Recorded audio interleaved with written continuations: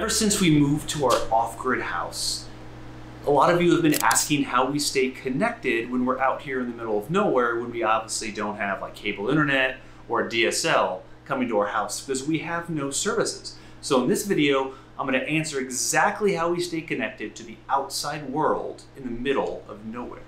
The secret is in this little device. This is called a MiFi device, and this is from Verizon. So we subscribe to Verizon. We bought this MiFi device, which you can find on Amazon a link in description. That'll be an affiliate link. There's also something else in there that will be an affiliate link, which means if you click through that link, we will get some credit for your purchase, but it will not cost you anything additional. So anyway, this is like your cable modem slash router, but instead of connecting to your cable network, this connects to the Verizon uh, data network. So this will take the Verizon signal, broadcast it out locally um, like any ordinary Wi-Fi connection. So as long as you have Verizon, a device like this will provide internet. So what if you don't have Verizon? Well, there's these available for AT&T, I believe for T-Mobile as well. We choose Verizon because they have the widest network, but we know a lot of our viewers who have both Verizon and AT&T to maximize their coverage wherever they are. There's a couple things I like about this and a couple things I don't like about this. What I like about this is it's this size. It's it's very small, very portable.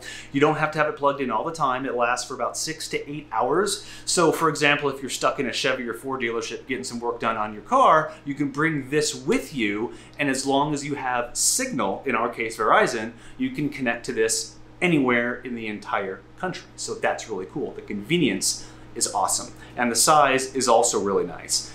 And I guess the other reason why I like this is because this is literally our only option. We have no other options out here that are affordable for us. Um, so this works great. Are, there are a couple things that I do not like about this, however. It's very flaky. Sometimes it'll just shut off for no reason whatsoever. It's incredibly frustrating. Every couple days, it'll slow down to a crawl where you'll barely be able to do anything, so you have to reset it. Sometimes it like freezes and I have to take the battery completely out, put it back in, restart it, and then it's back to normal. So it's it's not a dependable source of internet over the long haul. But um, I think the benefits outweigh the negatives here, especially if this is your only option. Um, so despite those things I don't like, I still, in general, like this option a lot. And this is the exact same device we used in our Airstream while, while we were traveling full time. So that just proves how easy this is to move. We just moved it from the Airstream into the house, and it works exactly the same way. Speed will be an issue depending on where you are, the network con um, congestion on the cell tower, um, and just how sophisticated the Amazon, or the Amazon, the Verizon network is at wherever you are. So what we've done is we have a WeBoost 4GX system on our Airstream and one here on the house that will take the Verizon signal, boost it locally, rebroadcast it immediately where you are. So if you have it on top of your Airstream or your RV, it'll boost that signal inside your RV so you get a better Verizon signal or, or AT&T or whatever service you have. So that is the advantage of that. It makes a world of difference. We've seen upload speeds, especially upload speeds, go from 2 to 3 megabits a second to 10 or 15 megabits a second just by using the WeBoost. So that is an excellent option. We have a directional antenna that we can point at exactly where that cell tower is. So what we do is we use an app like, like OpenSignal. There are also apps online um, that you can that you can use to help you pinpoint where the nearest cell tower is for your network. And for us, it is straight south. So that's where our antenna is pointing. But of course, you'll point it wherever the nearest tower is to maximize the speed and the connectivity between you and the cell tower. So I was talking about the WeBoost. This is the little WeBoost box with four greens. That means it has all bands coming in hot and heavy with wherever our local cell signal is, our, our cell tower. Um, so four greens is good. Three greens and like an amber, not necessarily bad depending on where you are, but in general, you want the best signal. So keep twisting and turning that antenna until you get four greens. And this is what accepts the signal from the outside directional antenna, comes into this box, which goes here into this device. This white little boxy looking rectangle device is what rebroadcasts the Verizon signal inside our house, and that's ultimately what this guy connects to wirelessly. And we keep our Verizon MiFi centrally located in the house to provide maximum coverage throughout the house. So it's usually plugged in right here, and it's sitting on our bar. Family room, bedroom, office, it's all centrally located. We never have a problem anywhere inside the house. And even out on our covered patio, we can get connectivity there too. So it works.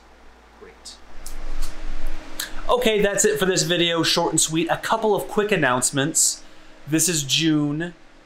So just a reminder, this is the last month that you can get our course for 100% free as our way of helping out the community during all this stuff that's happening. So if you haven't gotten it for free yet, sign up, link below. Again, 100% free. So last month, do that if you haven't.